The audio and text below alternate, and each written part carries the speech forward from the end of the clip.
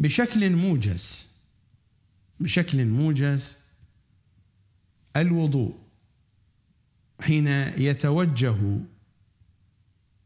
المتوضئ إلى الوضوء يستحضر هذين المعنيين. اولا الطهارة لا تتحقق حينما نستعمل هذا الماء الطاهر في نفسه إلا بولاية علي. لأننا نوالي عليا فالماء يكون مطهرا. وثانيا أن نذكر إمام زماننا فولايته هي الطهور الأعظم. وأول مظاهر هذا الطهور الأعظم عند ذكرنا له. فإننا نغسل أعضاء معينة ونمسح أعضاء معينة حين الوضوء لكن الجسد سيطهر كله. عند ذكره صلوات الله وسلامه عليه. الأذان الإقامة شعار حقيقة هذا الشعار ولاية علي. ندخل إلى الصلاة. لو كان هذا المعنى يتجلى عند المصلي من أول صلاته من التكبير إلى نهايته إلى نهاية صلاته إلى التسليم لو أن هذا المعنى يتجلى فقط. إننا نصلي كي نديم ذكر إمام زماننا. هذه هي علة التشريع للصلوات المفروضة. حين سأل هشام بن الحكم إمامنا الصادق عن علة تشريع الصلاة الإمام أجاب وأراد الله تبارك وتعالى وأنا أقرأ من علل الشرائع للشيخ الصدوق.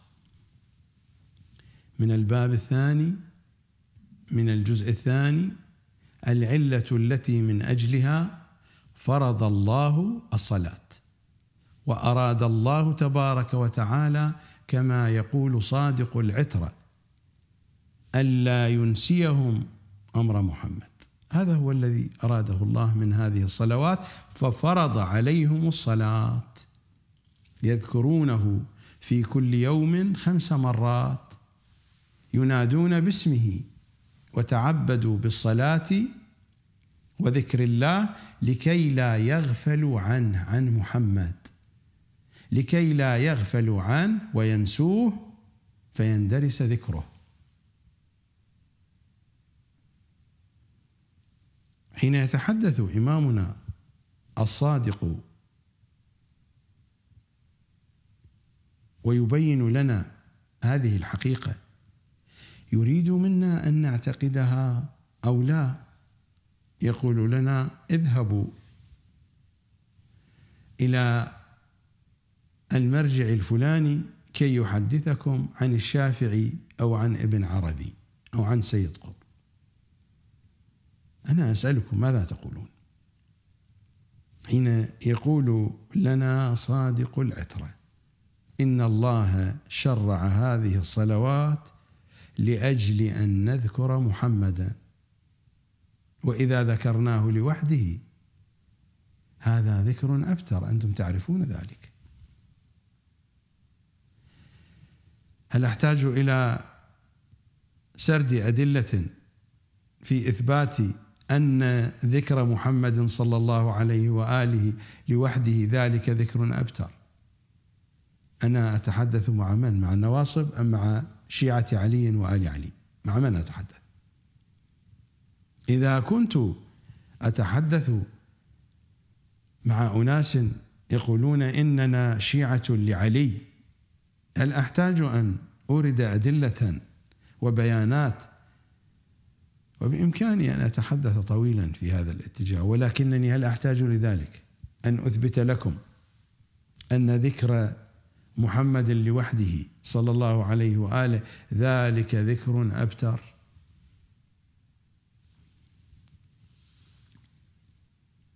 فالصلاه هي هذه علة تشريعها كما يقول صادقهم لأجل أن نذكر محمدا وآل محمد. هذا المعنى أين يتجلى؟ هذا المعنى يتجلى أن نذكر إمام زماننا.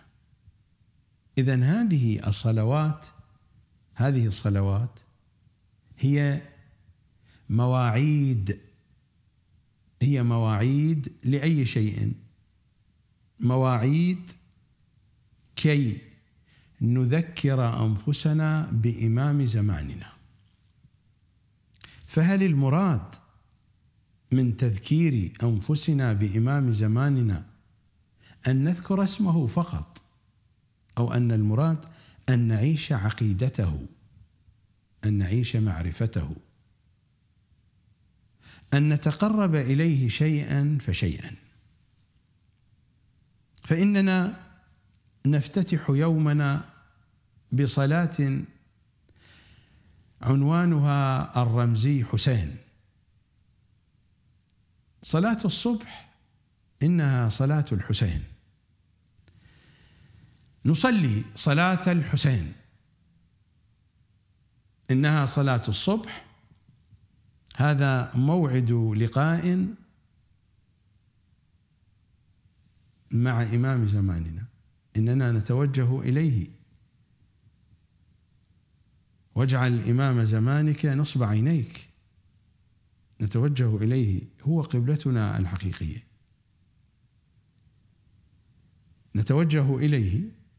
هو باب الله الذي إليه نتوجه. هو وجه الله الذي إليه نتجه.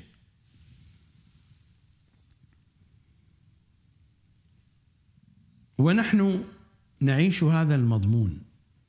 إننا نصلي كي نذكر إمام زماننا. هذا المعنى لو بقي مع المصلي من أول الصلاة إلى آخرها من دون تفاصيل من دون التفاصيل الأخرى التي مر ذكرها. هي هذه الصلاة فإنك قد أقبلت على صلاتك أيها المصلي. هذه تذكر إمام زمانك عند وضوئك كي تكون طاهرا. وحين ترفع الأذان أو الإقامة إنها شعار وإعلان عن ولاية علي. فتكبيرة الإحرام والتوجه إلى إمام زماننا وعلة الصلاه هي هذه أن نديم ذكره. حتى حين نقعد فإننا نقيم الرجل اليمنى ونطرح اليسرى. ذلك رمز لقيام إمام زماننا. وحين نختم الصلاة بالتسليم عليه فختام الصلاة بالتسليم على إمام زماننا. لا كما هو الحال في صلاة مراجعنا الذين لا يعرفون يسلمون على من ومر الحديث. لا يدرون على من يسلمون.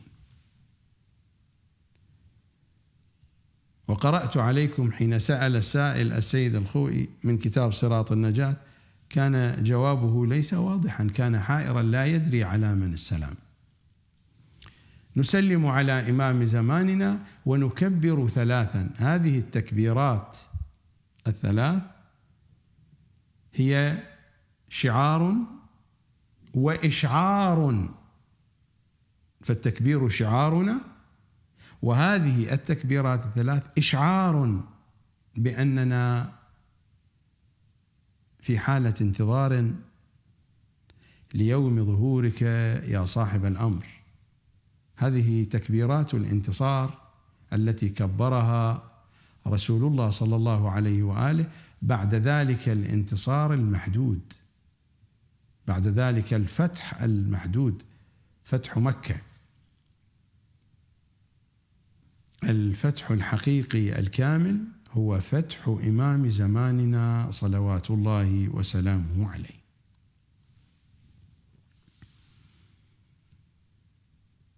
نذهب إلى فاصل. وبعد الفاصل أعود إليكم.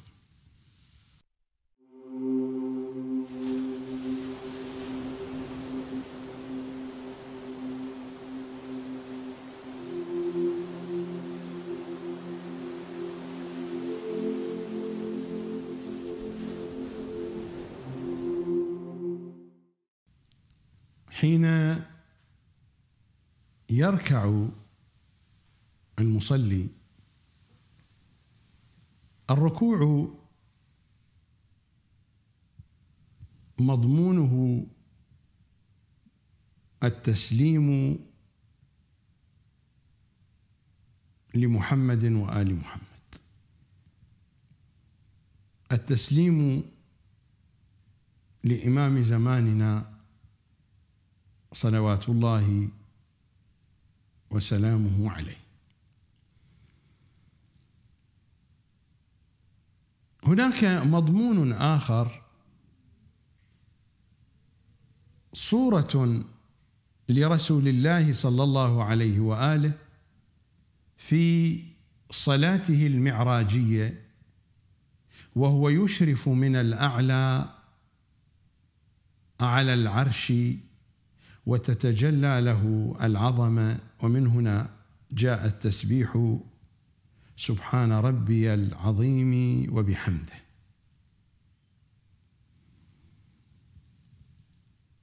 أما الصلوات على محمد وآل محمد فإننا نحتاجها على طول الصلاة من بدايتها إلى نهايتها.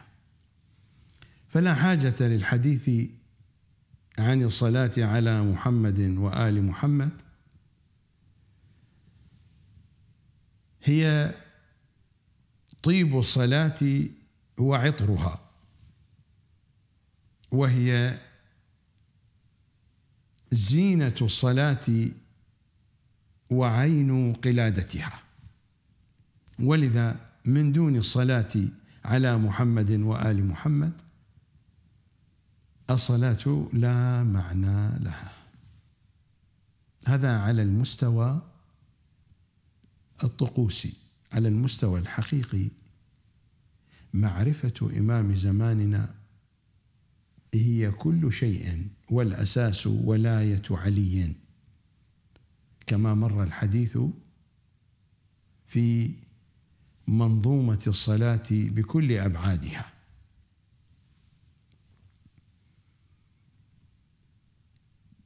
فالركوع يأتي بمعنى التسليم لإمام زماننا. ومرت الرواية عن سيد الأوصياء حين سأله السائل عن مد العنق عند الركوع. هو التسليم لأمر الله سبحانه وتعالى. التسليم لأمره والانقياد لطاعته. وهذا لا يتحقق إلا بالتسليم لإمام زماننا صلوات الله وسلامه عليه. فالركوع هو عنوان التسليم. الركوع مضمونه التسليم. ولذا جاء التسبيح مقرونا بالعظمة.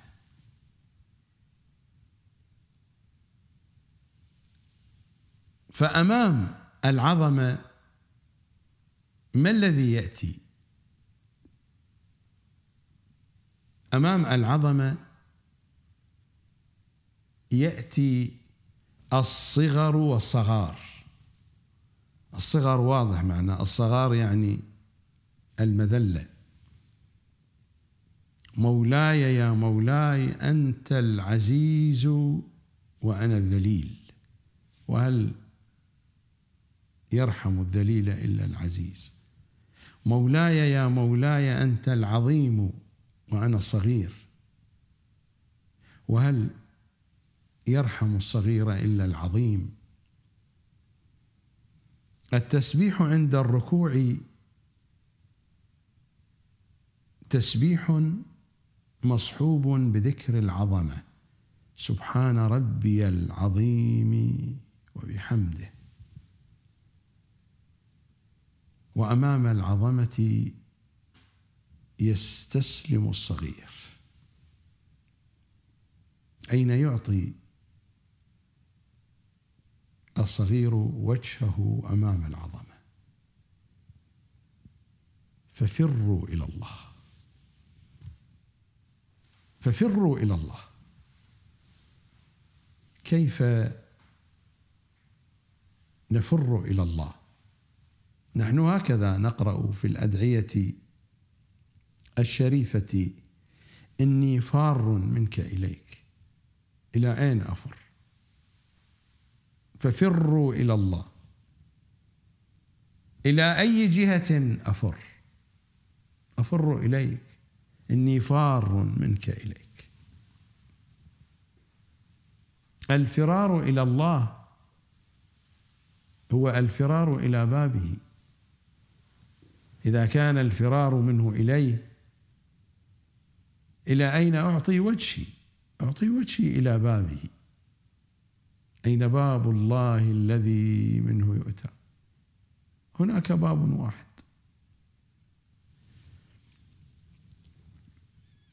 مثل ما جرى على أرض الواقع أن النبي الأعظم أغلق الأبواب جميعا التي فتحت على المسجد ولم يبق إلا باب واحد. باب من؟ تعرفونه. بقي باب واحد. هو هذا الباب المفتوح على بيت الله فقط. هذا الباب الذي الذي يدخل منه يدخل إلى بيت الله والذي يخرج من يخرج من بيت الله. إنه علي. حين أتحدث عن باب يدخل منه ويخرج منه لا أتحدث عن الباب الخشبي. الباب الخشبي كان رمزا فيزيائيا. إني أتحدث عن الباب الحقيقة. إنني أتحدث عن علي.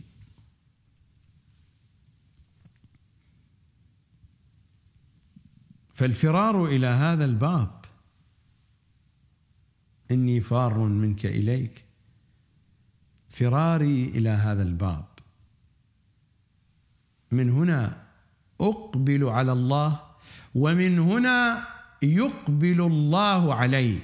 ولك من صلاتك ما أقبلت عليه وصلاتي علي هو الذي يقول أنا صلاة المؤمنين وصيامهم. فصلاتي علي لك من صلاتك ما أقبلت عليه فتسبيح الركوع مصحوب بالعظمة وأمام العظمة يتهاوى الصغير مستسلما ومسلما. وهذا مرادي من أن الركوع مضمونه التسليم. ومن الركوع إلى السجود. وفي السجود يأتي التسبيح مصحوبا بالعلو. سبحان ربي الأعلى.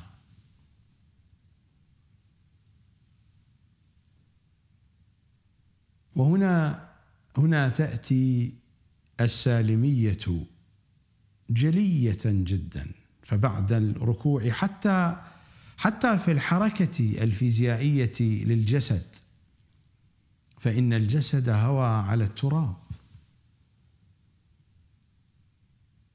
هذا الجسد هوى على التراب. الجبهة التي مسحت بتراب كربلاء سجدت على تراب كربلاء.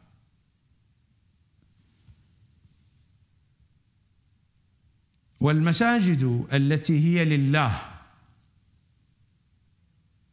هذه المساجد التي هي لله مسحت عند الولادة بتربة كربلاء هي الأخرى. وهوى الجسد مسلما. وهنا يتسامى معنى التسليم إلى معنى السالمية. فبعد العظمة جاء العلو ومرت الرواية التي تدور مضامينها حول الصلاه الأحمدية المعراجية. لا مجال لإعادة نصوص هذه الرواية. مر الحديث فيها في مضمون السجود. صحيح. كان الحديث عن السجود فيه رمزية العلاقة بالأرض. منها خلقنا وإليها نعود ومرت الروايات. وقد ينسجم هذا المعنى مع مزاج نفسي وإقبال معنوي عند هذا المصلي أو عند ذاك.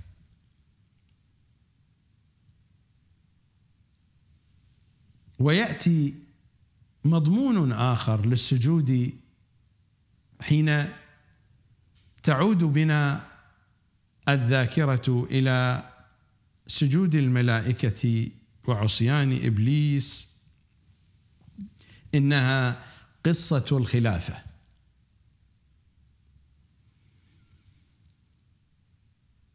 ويتفرع على هذا المضمون أننا نتجه إلى الباري وهذه الأعضاء تحمل في طياتها رمزية لمعصية أبينا آدم لمعصية الإنسان.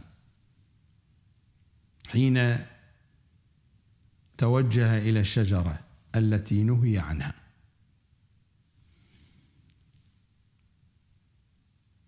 كل هذه المضامين تتحدث عن السالمية حتى في الصلاة الأحمدية المعراجية وما كان من غشي. وبعد ذلك جاءت إفاقة وبعد الإفاقة جاء غشي آخر. ومر الحديث لا مجال لذكره. يمكنكم أن تراجعوا الرواية التي دارت مضامينها حول صلاة الأحمدية المعراجية. يمكنكم أن تراجعوا الحلقات السابقة. حتى هذه فيها إشارة واضحة للسالمية التي هي أعلى درجات التسليم. أعلى أعلى. وبعد العظمة يأتي العلو. ماذا نقرأ في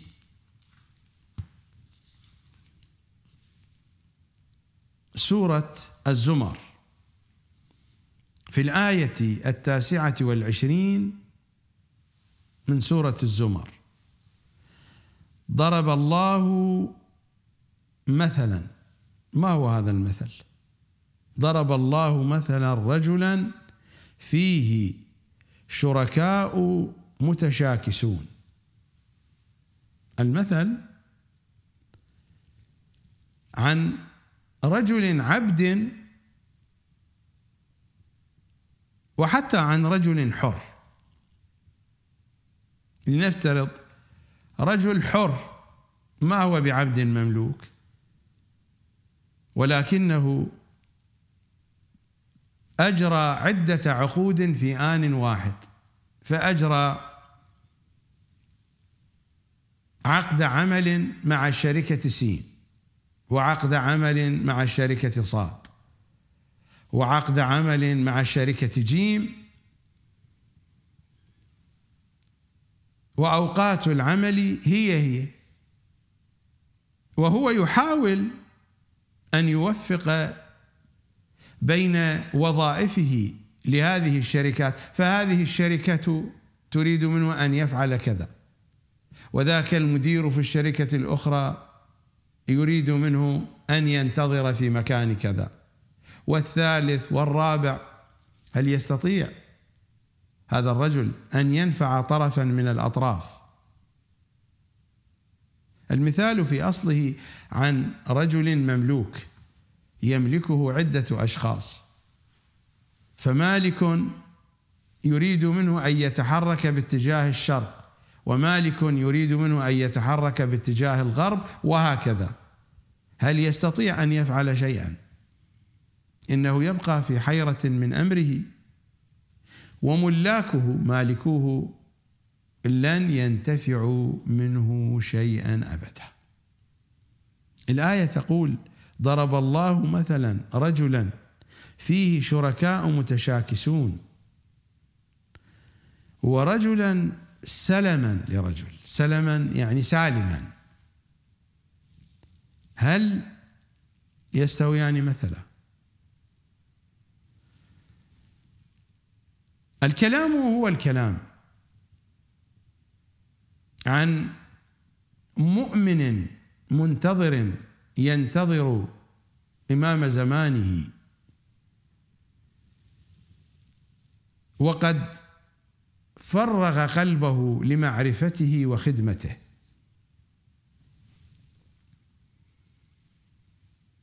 مثل ما يقول إمامنا الصادق حين سألوه عن إمام زماننا الحجة بن الحسن ماذا قال؟ قال لو أدركته خدمته أيام حياتي. وعن رجل آخر. يعيش في ظل رغبات مختلفة وفي ظل ارتباطات متنوعة. فهو يعمل لهذا الحزب ويشتغل لذلك المسؤول. ويركض وراء حاجات جعلها مطمحا عاليا له لن ينالها إلا بالتقرب. لذلك السلطان أو لذلك الشيخ أو لذلك أو لذلك أو لذلك المرجعي أو لأي جهة أخرى.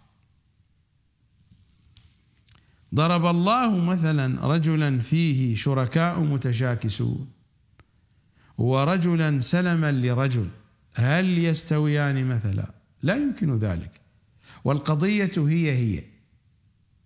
إذا أردنا أن نطبقها والمراد هو هذا أن نطبقها على عقولنا. حين تكون عقولنا وقلوبنا مشبعة بثقافة واحدة هي ثقافة الكتاب والعترة.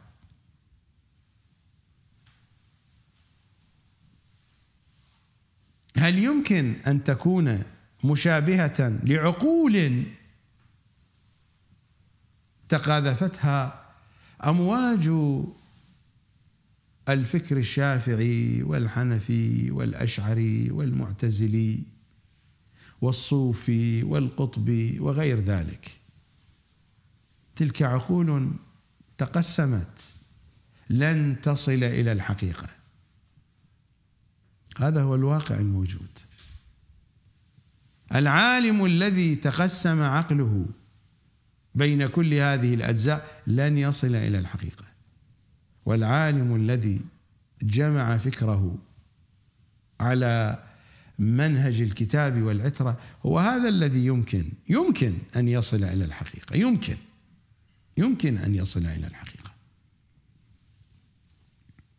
ضرب الله مثلا رجلا فيه شركاء متشاكسون ورجلا سلما لرجل هل يستويان مثلا؟ ماذا يقول آل محمد في هذه الآية؟ هذا هو الجزء السادس من تفسير البرهان. السيد هاشم البحراني رحمة الله عليه صفحة 538 من طبعة مؤسسة الأعلمي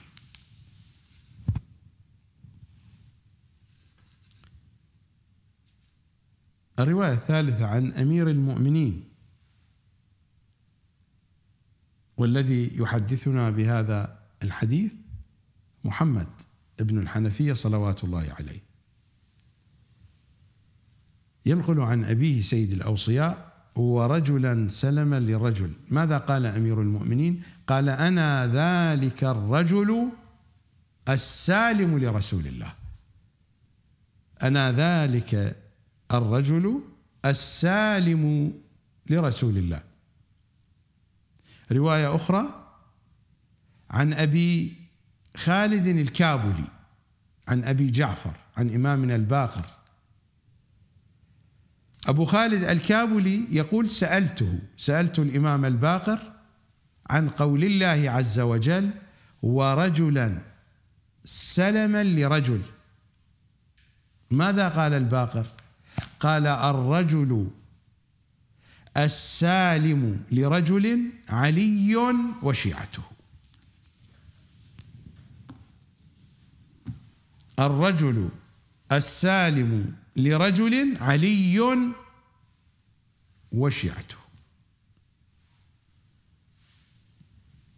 قطعا هنا وشيعته العطف ليس المراد العطف بمو ليس المراد العطف بمستوى التساوي ابدا. وإنما الشيعة يمكنهم أن يعيشوا في أجواء هذا المعنى في أجواء هذا المضمون السالمية لرسول الله. والسالمية لرسول الله هي السالمية لإمام زماننا.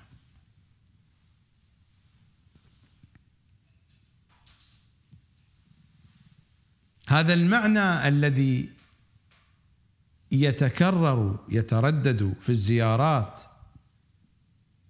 إني معكم معكم. لا مع غيركم.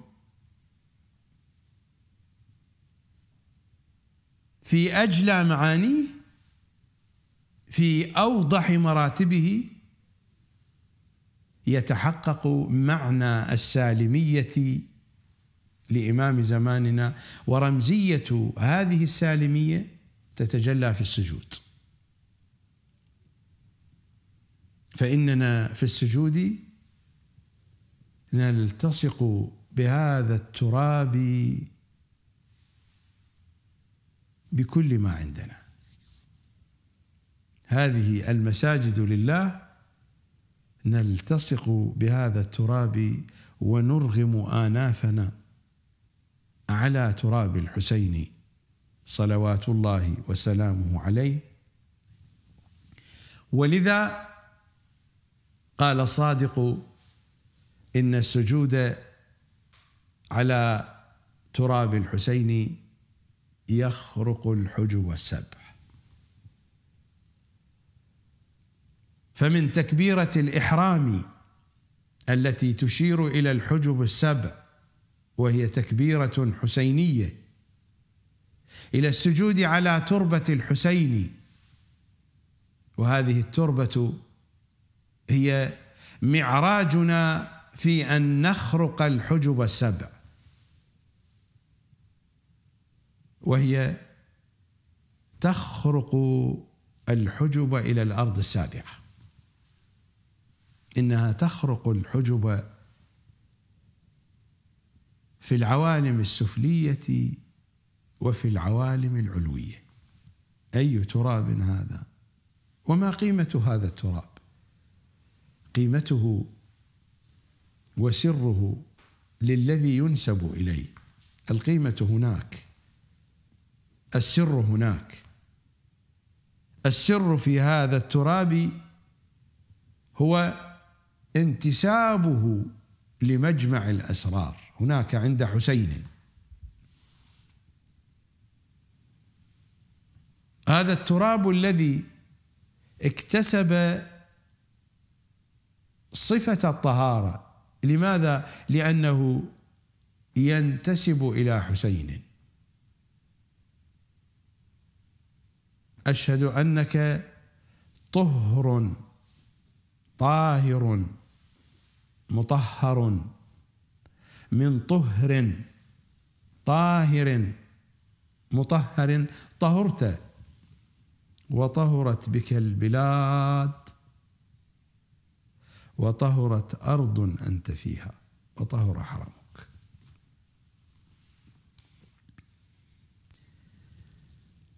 هذه الطهارة في هذه التربة هي التي تخرق الحجب السبع وتخرق الأرض. إلى طبقتها السابعة. إنه خرق من جميع الجهات. عروج في جميع الاتجاهات. لماذا؟ لأننا نسجد على تربة تنتسب إلى حسين. ويكفي يكفي أن أقول إنها تنتسب إلى حسين وبعدها أقول كما قال صلى الله عليه وآله رفعت الأقلام وجفت الصحف. بعد ذكر حسين لا حاجة لأن نكتب شيئا. انتهينا. حتى لا نحتاج إلى أن نقول نقطه راس سطر ابدا. هنا تنتهي النقاط. وتتلاشى السطور فقد أشرق حسين وتم الكلام. نذهب إلى فاصل. بعد الفاصل يعود إليكم.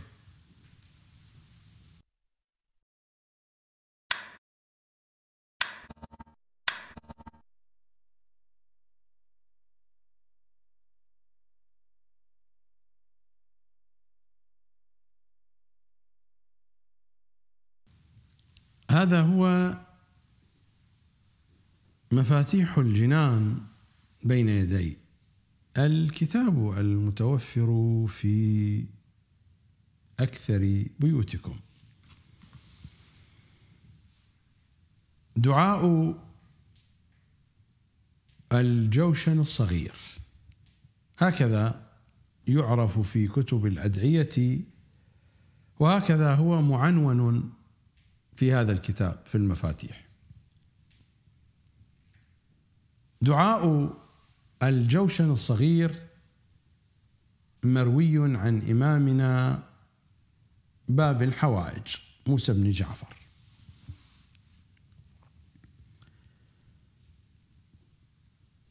لمن لهم دراية في كتب الأدعية لا يشكون في صحة هذا الدعاء.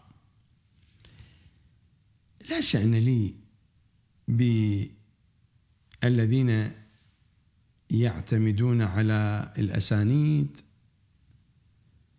وقذارات علم الرجال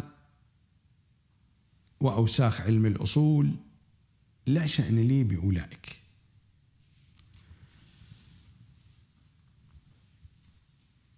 في آخر هذا الدعاء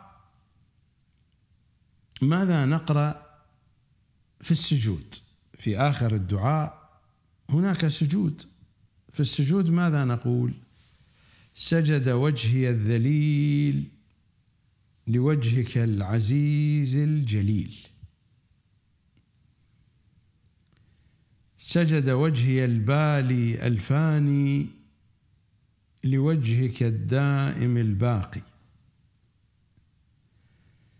سجد وجهي الفقير لوجهك الغني الكبير. سجد وجهي وسمعي وبصري ولحمي ودمي وجلدي وعظمي ما أقلت الأرض مني لله رب العالمين. هذا هو معنى السجود. سجد وجهي الذليل لوجه الله ولكن السجود لوجه الله هو سجود لله. الدعاء يبين هذه الحقيقة. أقرأ عليكم النص مرة أخرى. النص موجود في آخر الدعاء. سجد وجهي الذليل لمن؟ لوجهك العزيز الجليل. لوجهك. سجد وجهي البالي الفاني لوجهك لوجهك الدائم الباقي. سجد وجهي الفقير لوجهك الغني الكبير. هذه ثلاث مرات. ثم ماذا يقول الدعاء؟ سجد وجهي وسمعي وبصري ولحمي ودمي. وجلدي وعظمي وما أقلت الأرض مني لله رب العالمين. فسجودي لوجهه هو سجود له سبحانه وتعالى. من وجهه؟ وجهه غيره. وجه الله غير الله. من هو وجهه؟ هناك فهمان لهذا الوجه. هناك فهم لا نعرف ما معناه وهو الذي يشيع في ساحة الثقافة الشيعية وأشاعه مراجعنا وعلماؤنا. هكذا الاتجاه لا ندري إلى أي مكان. هذا هو وجه الله. وهذا الفهم فهم شافعي أشعري معتزلي بالأصالة وبالدقة. قطبي أيضا. ما هي هذه المعاني؟ هي هي عند القطبيين. أما عند علي أمير المؤمنين الأمر يختلف. من تتبعون يا أشياع ماذا أقول؟ على أي حال. لأنكم لو كنتم اشياعا لعلي لاتبعتم عليا. تقولون نحن أشياء علي. علي هكذا يقول. هذا هو الطبرسي. هذا هو كتاب الاحتجاج صفحة 252 طبعة ذات الجزئين مؤسسة الأعلمي بيروت لبنان ماذا يقول علي؟ تحت عنوان احتجاجه في آي متشابهه يتحدث عن آل محمد قال وهم وجه الله. هم وجه الله. هذا علي يقول. وهم وجه الله. الذي قال فأينما تولوا فثم وجه الله. هذا علي يقول ما أنا الذي أقول؟ وهم وجه الله الذي قال فأينما تولوا فثم وجه الله. يستمر أمير المؤمنين يقول هم بقية الله. يقول يعني المهدي وجه الله يعني المهدي. هذا هو كلام علي. هذه العبارة أقرأها عليكم بنصها من كلام سيد الأوصياء. وهم وجه الله الذي قال فأينما تولوا فثم وجه الله هم بقية الله يعني المهدي. يعني المهدي من كلام علي ليس من كلامي. يعني المهدي. وفي نفس الكتاب ماذا يقول صادقهم؟ في جملة احتجاجات الإمام الصادق هذا الذي يسأل الإمام. قال أفيصلح السجود لغير الله؟ هل يكون السجود لغير الله؟ قال لا. لا يمكن. السجود لله فقط. قال فكيف أمر الله الملائكة بالسجود لآدم كما في القرآن. قال إن من سجد بأمر الله سجد لله إذا كان عن أمر الله. السجود كان لله لأنه كان بأمر الله. صحيح الملائكة سجدوا لآدم. إن من سجد بأمر الله سجد لله إذا كان عن أمر الله. هذا كلام علي وهذا كلام الصادق صلوات الله وسلامه عليه.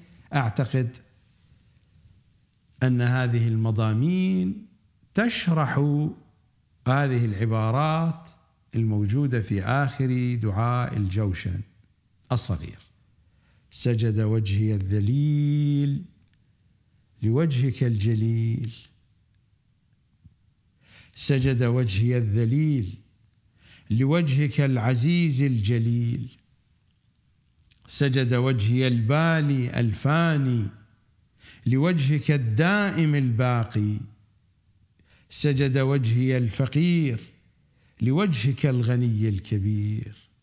سجد وجهي وسمعي وبصري ولحمي ودمي وجلدي وعظمي وما أقلت الأرض مني. لله رب العالمين. فوجه الله تبين معناه من كلام علي. إنه إمام زماننا. والسجود لوجه الله بأمر الله سجود لله سبحانه وتعالى. هذه أدعية آل محمد. وهذه كلماتهم وهذه رواياتهم وهذه احاديثهم وكل هذه المضامين تتجلى في معنى السالمية لعلي وآل علي. ومعنى السالمية في الشيعة لعلي وآل علي إنها السالمية لإمام زماننا صلوات الله وسلامه عليه. نذهب إلى فاصل وبعد الفاصل أعود إليكم.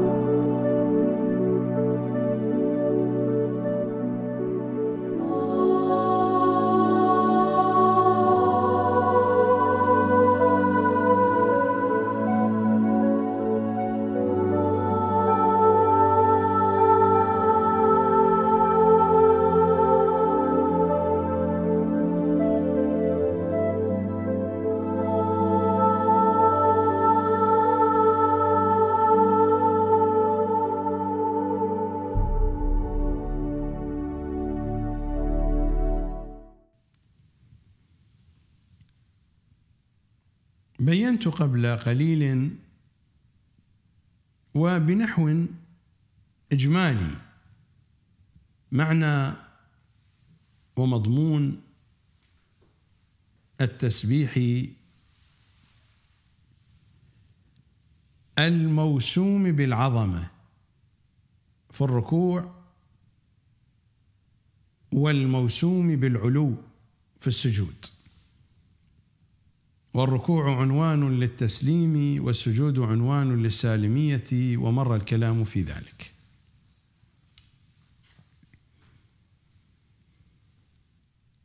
وقد شرحت معنى التسبيح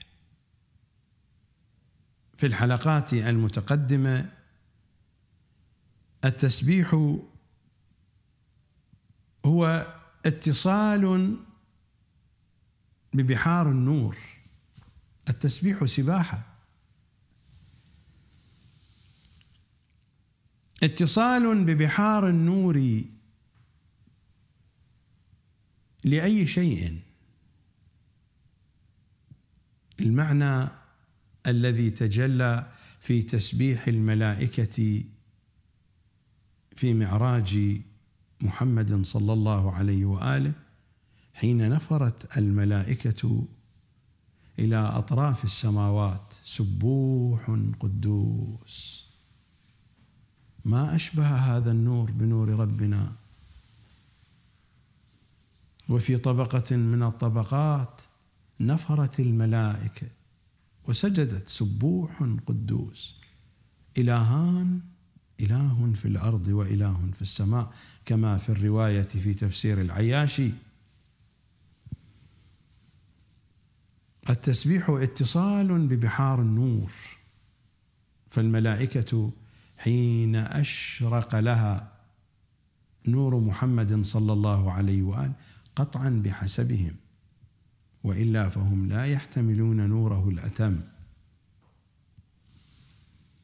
خرت الملائكة ساجدة مسبحة.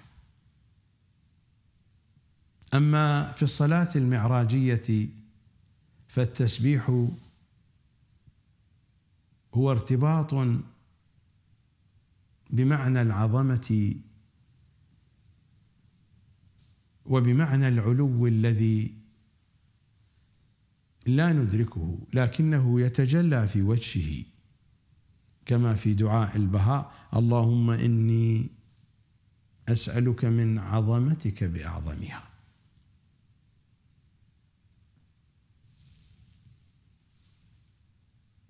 والمعنى هو هو. اللهم إني أسألك من علوك بأعلى.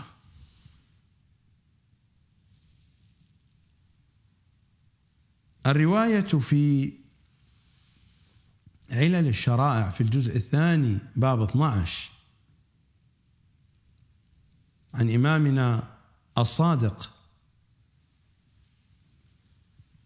والسائل يسأل. رواية طويلة أخذ منها موطن الحاجة. فقلت لأي شيء صار التسبيح في الأخيرتين أفضل من القراءة؟ في الأخيرتين يعني في الركعتين الأخيرتين من الصلوات الرباعية. أو في الركعة الثالثة في صلاة المغرب. في الصلاة الثلاثية. فقلت لأي شيء صار التسبيح في الأخيرتين أفضل من القراءة. يشير إلى السبحانيات. سبحان الله والحمد لله ولا إله إلا الله والله أكبر.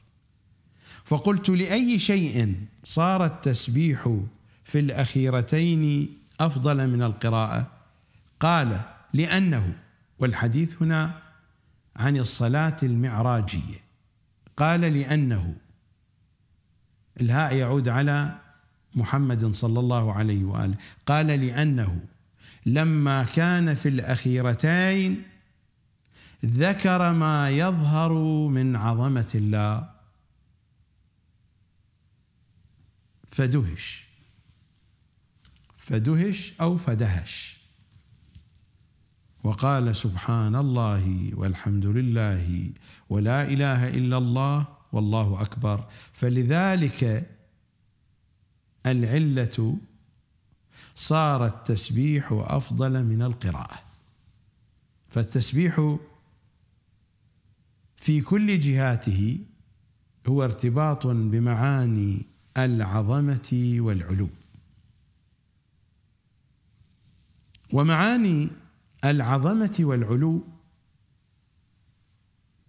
ترتبط بعرش رب العالمين. مرت علينا الرواية في الصلاة المعراجية أن النبي صلى الله عليه وآله جاءه الأمر من الله أن طأطأ فطأطأ صلى الله عليه وآله وأشرف على العرش وتجلت له عظمة من عظمة الله سبحانه وتعالى.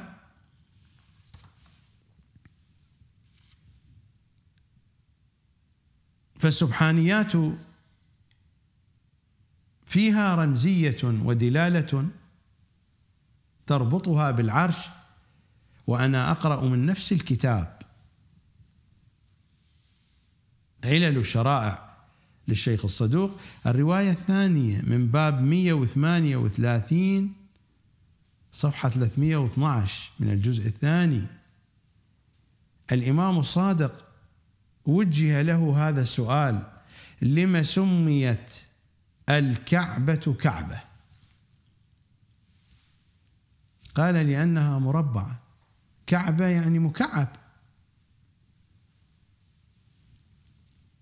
لما سميت الكعبة كعبة؟ قال لأنها مربعة. فقيل له ولم صارت مربعة؟ قال لأنها بحذاء البيت المعمور وهو مربع. فقيل له ولم صار البيت المعمور مربعا؟ قال لأنه بحذاء العرش وهو مربع. فقيل له ولم صار العرش مربعا؟ قال لأن الكلمات التي بني عليها الإسلام أربع وهي سبحان الله والحمد لله ولا إله إلا الله والله أكبر. هذا المضمون بحاجة إلى شرح لكنني لست في مقام شرح كل التفاصيل. نأخذ الرواية بمجملها. فالكعبة مربعة لأنها صورة عن البيت المعمور هو مربع والبيت المعمور مربع لأنه صورة عن العرش فالعرش مربع. والعرش مربع لماذا؟ لأن حقيقة الإسلام لأن حقيقة الدين مربعة هي الأخرى والإشارة إلى هذه السبحانيات. سبحان الله والحمد لله ولا إله إلا الله والله أكبر. مضمون العرش هو هذا. مثل ما مضمون الكعبه في وجودها الارضي يتجلى في البيت المعمور في السماء الرابعة. ومثلما مضمون البيت المعمور في السماء الرابعة يتجلى في العرش الإلهي في السماء السابعة. والعرش الإلهي مضمونه هذه الكلمات. هذه الكلمات رموز وعناوين ومفاتيح تشير إلى مضمون هذا العرش المربع بكل تكوينه. وليس الحديث عن المربع هنا في البعد الطبيعي أو المادي أو الفيزيائي. ماذا نقرأ في الزيارة الجامعة الكبيرة؟ ماذا نقرأ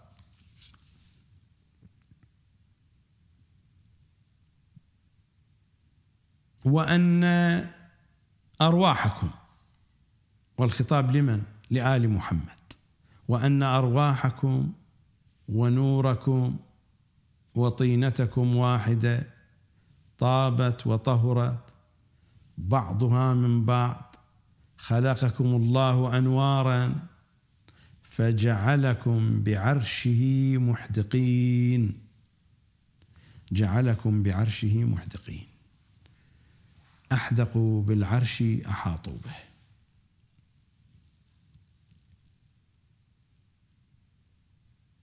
هم الحقيقة الأوسع. حقيقتهم محيطة بكل هذه المضامين. أينما تولوا؟ فثم وجه الله. هذه الإحاطة. أينما تولوا فثم وجه الله. في كل عالم من العوالم في كل طبقة من طبقات هذا الوجود أينما تولوا فثم وجه الله.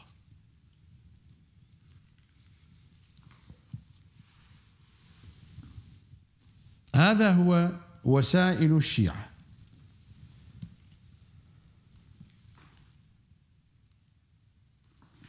هذا هو الجزء الرابع من وسائل الشيعة لشيخنا الحر العاملي منشورات المكتبة الإسلامية طهران إيران. صفحة 993 باب خمسة الرواية الأولى. هذه الرواية الأولى رواها شيخنا الكليني في الكافي ورواها الشيخ الطوسي في كتابه التهذيب.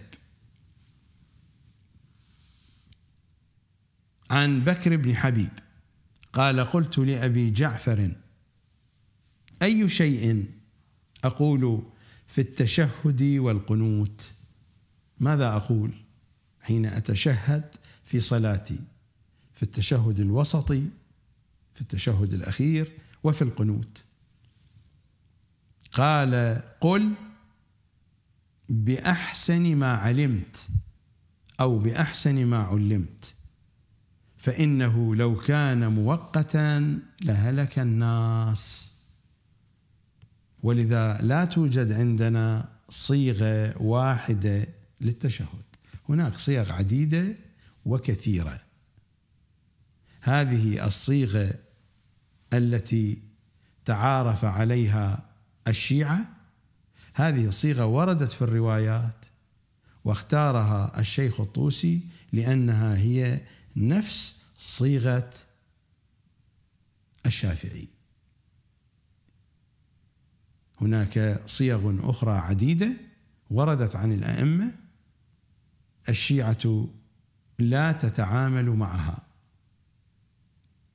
وهذه الرواية تشير إلى حقيقة وهي إننا نستطيع أن نصوغ صيغة تشهد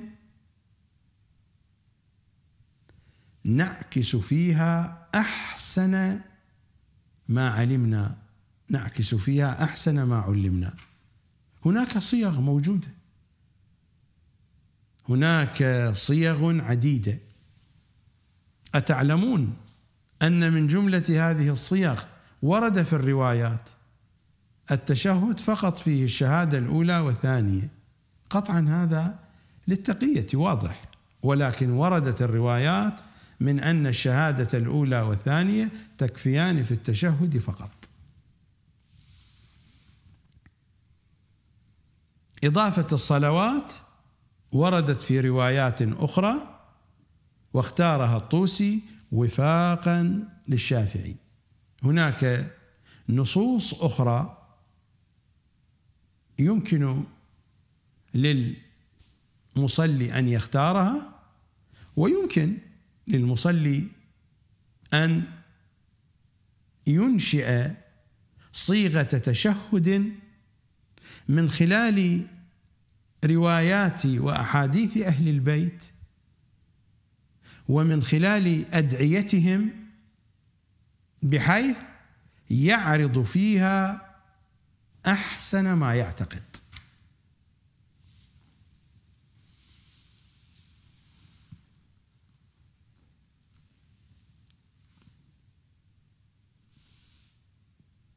على سبيل المثال أعطيكم مثالا.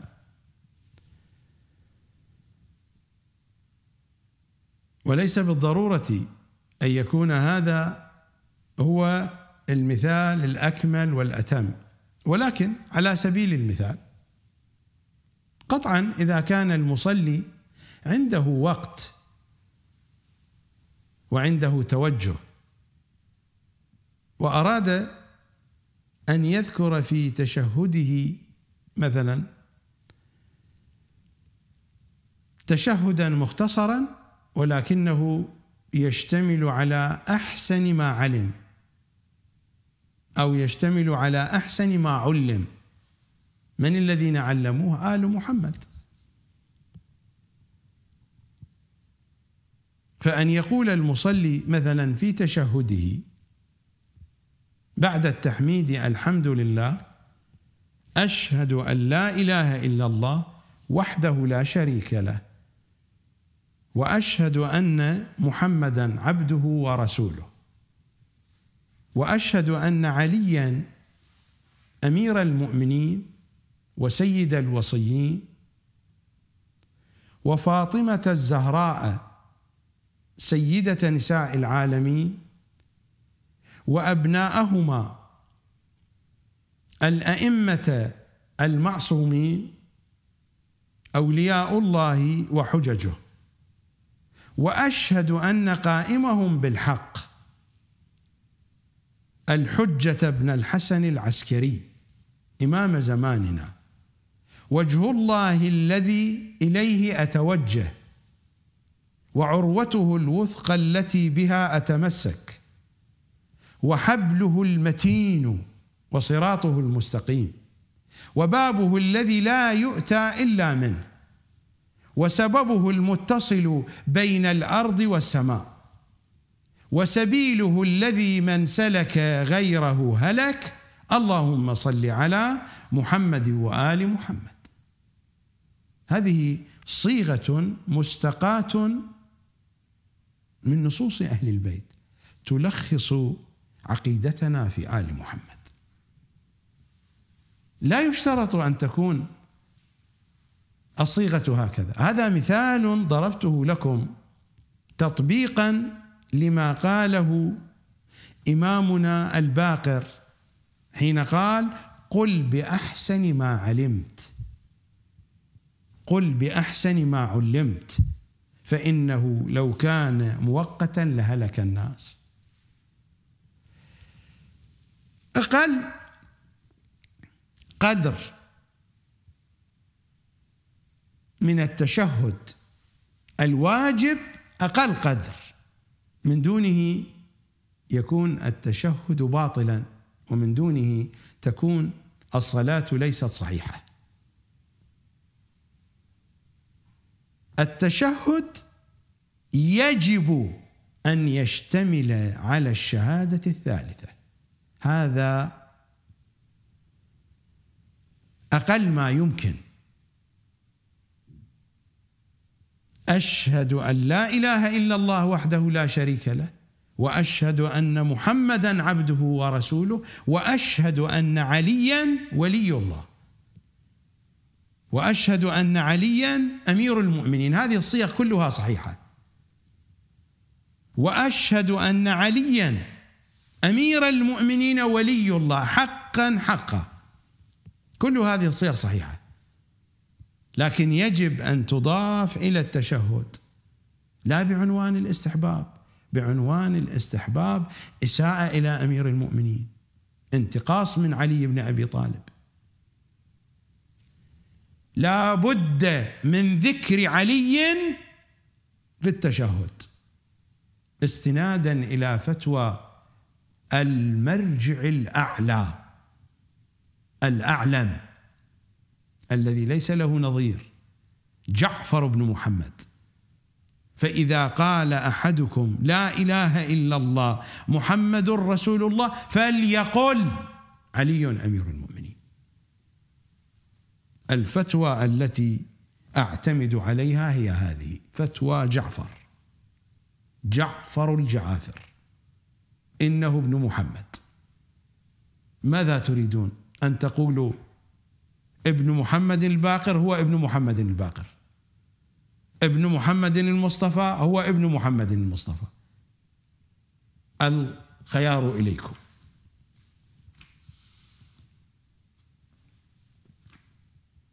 فهذا قانون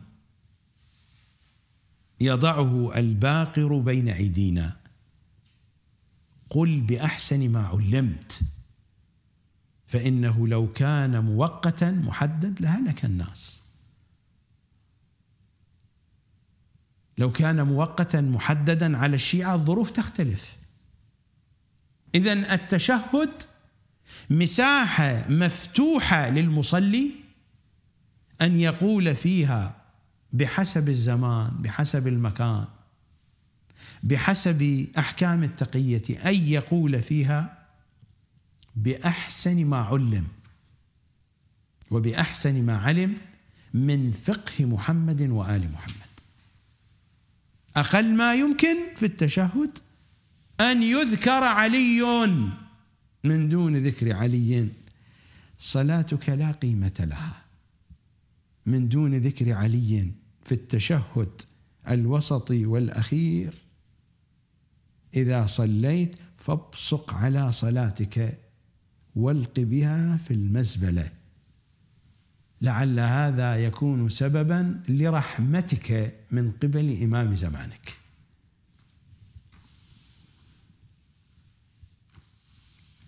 فالصلاة من دون علي لا معنى لها لا قيمة لها. فالتشهد هناك صيغ وقرأت بعضا منها. ويمكنكم أن تراجعوا كتب الحديث وتختاروا صيغة من هذه الصيغ. وكذاك الأمر مع القنوت. هناك أدعية وردت عن الأئمة صلوات الله وسلامه عليهم أجمعين. أفضل الأدعية في القنوت بنحو عام الدعاء لإمام زماننا. الصلاة على محمد وآل محمد. الدعاء بتعجيل الفرج الصلاة على محمد وآل محمد. واللعن على أعدائهم. اذا بشكل مختصر إذا أردت أن تختصر القنوت اللهم صل على محمد وآل محمد وعجل فرجهم والعن أعداءهم قنوت جامع. صليت على محمد وآل محمد ودعوت بتعجيل الفرج ولعنت أعداءهم. وهذا هو القنوت الجامع. فأفضل الأدعية الدعاء بتعجيل الفرج. لأن الإمام أمرنا بذلك. الإمام أمرنا وأكثر من الدعاء بتعجيل الفرج. أمر صريح. وأفضل مواطن الدعاء القنوت في الصلاة. من أفضل مواطن الدعاء القنوت في الصلاة. وأفضل أنواع الأدعية الدعاء بتعجيل الفرج. الصلاة على محمد وآل محمد اللعن على أعدائهم. اللعن على أعداء محمد وآل محمد العنوان الأول. العنوان الأول اللعن على أعداء فاطمة. اللهم لعن ظالمي فاطمة وآل فاطمة. اللهم لعن قاتلي فاطمة وآل فاطمة. هذا العنوان الأول من اللعن. واللعن مهم في منظومة الصلاة. الصلاة من دون لعن ناقصة قبيحة. قبيحة جدا. الصلاة من دون لعن قبيحة قبيحة إلى أبعد الحدود. دعوني آتيكم بأمثلة أمثلة سريعة. ولكن قبل أن أذهب إلى أمثلة كي أسرع في الحديث لا بد من الإشارة إلى التسليم. التسليم حاله حال التشهد. وأفضل صيغه أن نسلم على النبي وعلى أهل بيته. أما هذه الصيغة الموجودة هذه صيغة قريبة من الذوق الشافعي. هذه الصيغة المعروفة. لا أدري مراجعنا لماذا دائما يختارون أقرب المضامين إلى الذوق الشافعي.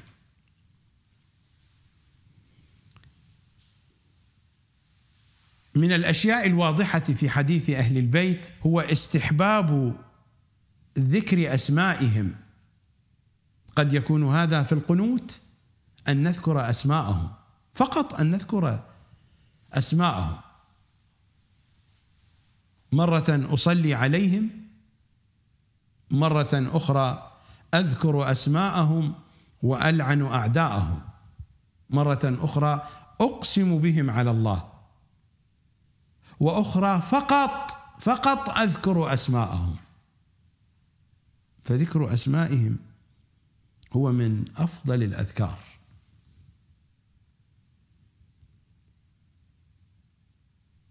حين نذكر أسماءهم فنقول محمد محمد محمد. علي علي علي. فاطمة فاطمة فاطمة. وهكذا. ذكرهم هذا هو أشرف الأذكار. كل هذه المضامين موجودة في أحاديث أهل البيت.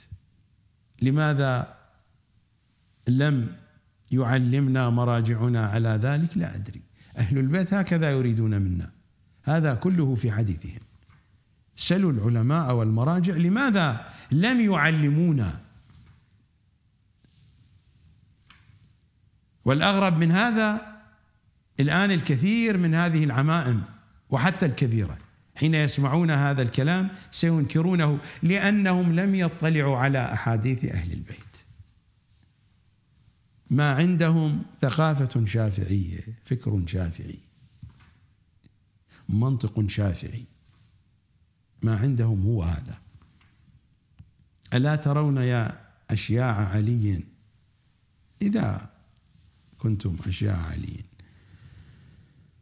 أنكم ترددون دائما إن الشوافع يشبهوننا. مضحوك عليكم نحن نشبه الشوافع. مضحوك عليكم. نحن نشبه الشوافع. وليس الشوافع يشبهوننا.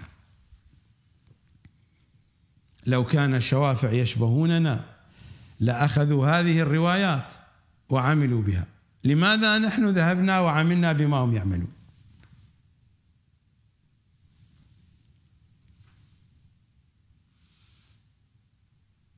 نذهب إلى فاصل.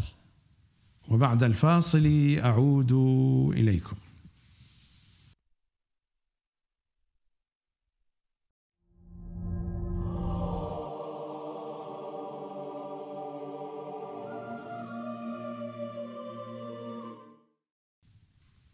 دعوني أقرأ عليكم صيغة تشهد وتسليم من كتاب الفقه الرضوي.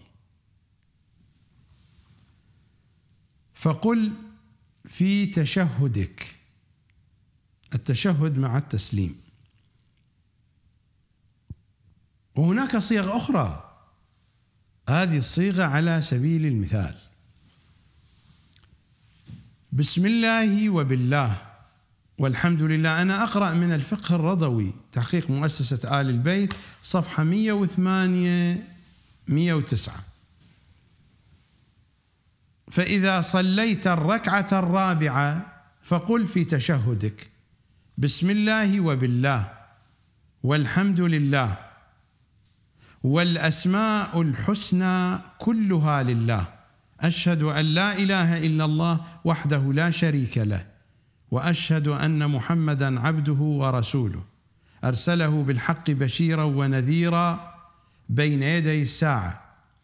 التحيات لله والصلوات الطيبات الزاكيات الغاديات الرائحات التامات الناعمات المباركات الصالحات لله.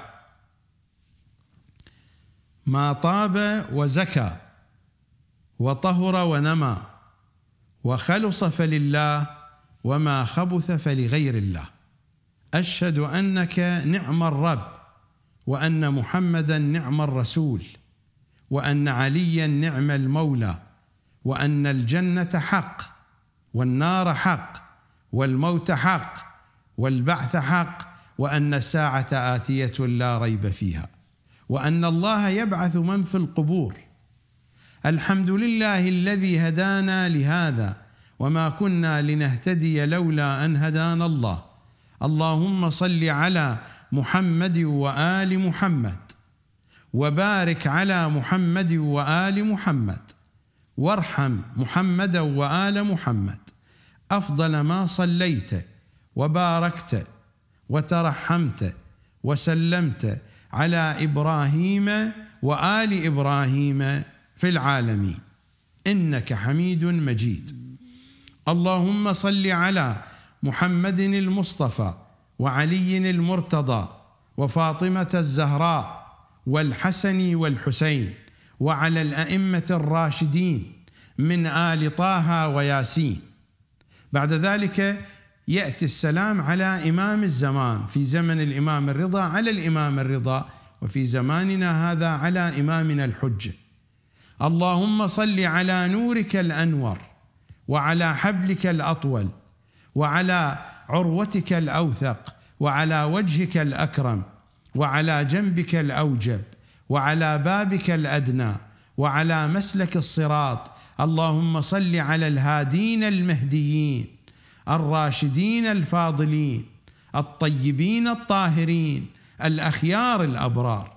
اللهم صل على جبرائيل وميكائيل وإسرافيل وعزرائيل وعلى ملائكتك المقربين وأنبيائك المرسلين ورسلك أجمعين من أهل السماوات والأرضين وأهل طاعتك أكتعين. أكتعين يعني أجمعين. واخصص محمدا صلى الله عليه وآله بأفضل الصلاة والتسليم. السلام عليك أيها النبي. ورحمة الله وبركاته. السلام عليك وعلى أهل بيتك الطيبين. السلام علينا وعلى عباد الله الصالحين. هذه الصيغة وردت عن إمامنا الرضا وصيغ أخرى عديدة. ولكن كما بين إمامنا الباقر في قانون التشهد قل بأحسن ما علمت أو بأحسن ما علمت. حتى هي هذه الصيغ هذه الصيغ ذكرت فيها الملائكة والأنبياء بينما الذوق الأعلى لمحمد وآل محمد. التركيز يكون فقط عليهم لا على غيرهم. هذه الصيغ ذكرت فيها العقائد العامة من الجنة والنار والبعث وأمثال ذلك. والملائكة ذكروا والأنبياء بينما التركيز لا بد أن يكون كما في الزيارة الجامعة الكبيرة القول البليغ الكامل. لماذا؟ لأننا لم نؤمر بالالتزام بنص معين. هناك نصوص عديدة والإمام الباقر وضع لنا صيغة وقانون في التشهد. قل بأحسن ما علمت بأحسن ما علمت فأحسن ما علمت على الأقل بالنسبة لهذا العبد الماسوني. كما يصفني من هم في المؤسسة الدينية. لأنني أركز كثيرا على ذكر علي صرت ماسونيا لهذا السبب.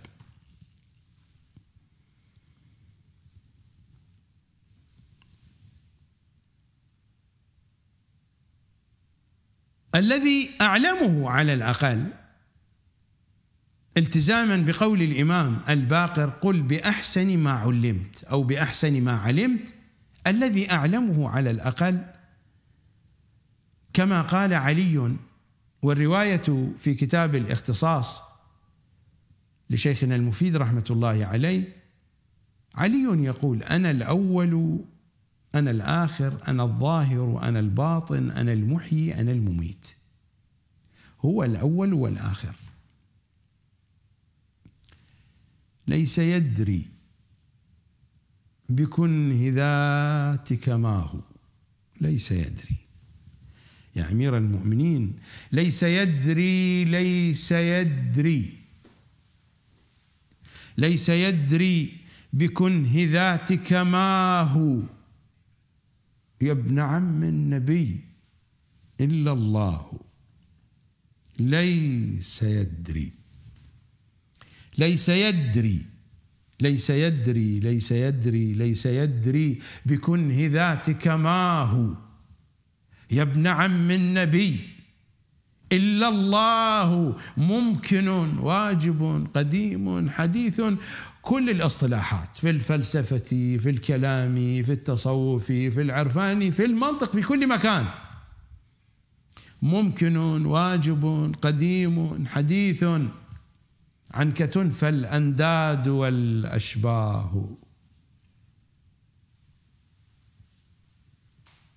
قلت للقائلين. قلت للقائلين أنك الله. قلت للقائلين أنك الله. افيقوا افيقوا افيقوا افيقوا فالله قد سواه. هو مشكاة نوره والتجلي. علي هو هذا. هو مشكاة نوره والتجلي سر قدس. جهلتم معناه.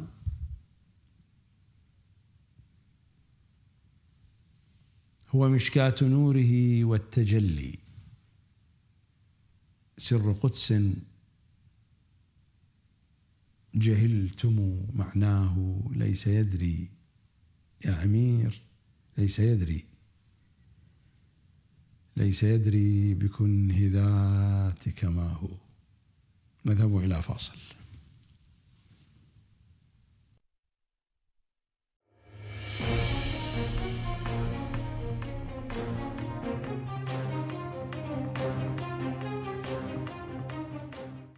فكمال التسليم في آخر الصلاة التسليم على رسول الله وعلى أهل بيته الأطهار. والعنوان الأوضح إمام زماننا. سواء ذكرنا ذلك بالاسم أو بالعبارة التي وردت في آخر الصلاة السلام عليكم ورحمة الله وبركاته. إننا هنا نسلم على إمام زماننا. صيغة التسليم على أهل البيت وردت في عبائر مختلفة. ويمكننا أن نسلم عليهم بما نختاره من زياراتهم أو بما نوجزه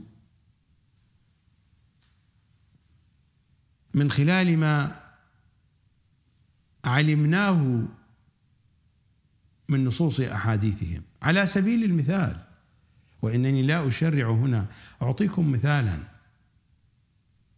السلام عليك أيها النبي ورحمة الله وبركاته. السلام عليك وعلى أهل بيتك الطيبين الطاهرين. السلام على أمير المؤمنين وفاطمة الزهراء والحسن والحسين والتسعة المعصومين من ولد الحسين. السلام عليك يا بقية الله يا حجة الله يا صاحب الأمر والزمان ورحمة الله وبركاته. السلام علينا وعلى عباد الله الصالحين. السلام عليكم ورحمة الله وبركاته. ونعني بالتسليمة الأخيرة. نعني إمام زماننا الحجة بن الحسن.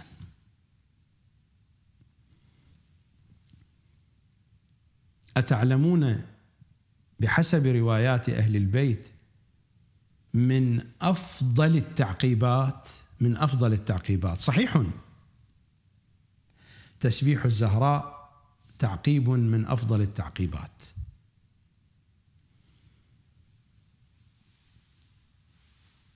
الدعاء بتعجيل الفرج تعقيب من أفضل التعقيبات. الصلاة على محمد وآل محمد من أفضل التعقيبات.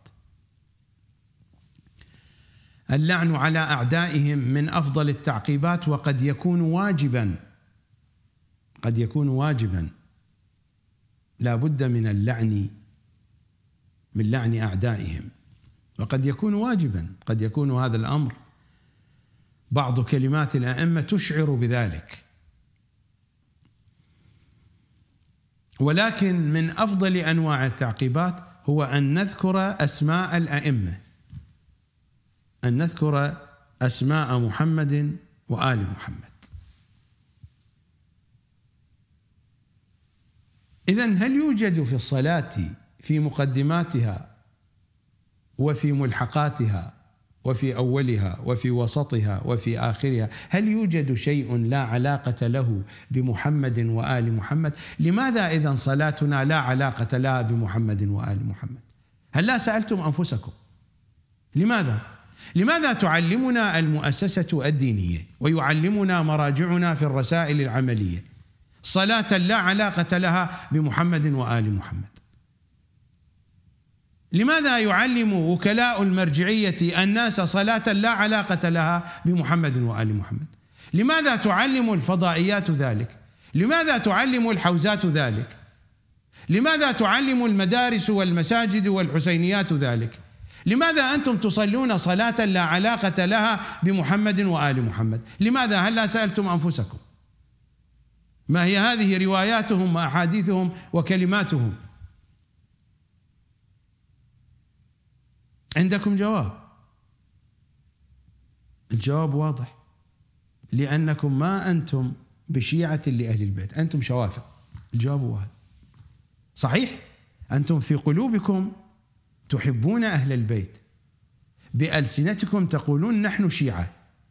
لكن في الثقافة والعقائد والمعرفة والمعلومات أنتم شوافع ما أنتم بشيعة أهل البيت. هذا هو الواقع وهذا هو المنطق. والبرنامج هذا من أوله إلى آخره. نحن الآن في الحلقة 162 مئات من الساعات مئات من الوثائق والحقائق. كلها تنطق بهذه الحقيقة.